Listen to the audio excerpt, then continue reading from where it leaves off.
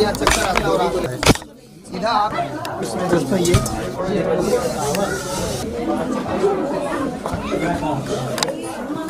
तो जी हाँ, दोस्तों, आखिरकार आज मालती चौहान ने अपना बदला पूरा कर ही लिया।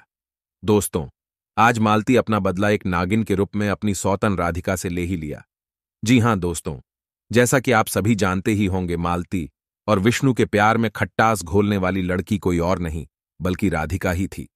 मालती आज नागिन का रूप धारण कर अपना बदला पूरा करने विष्णु राज और उन सभी आरोपियों के घर पर आई थीं और राधिका से अपना बदला लेने के बाद चली गई।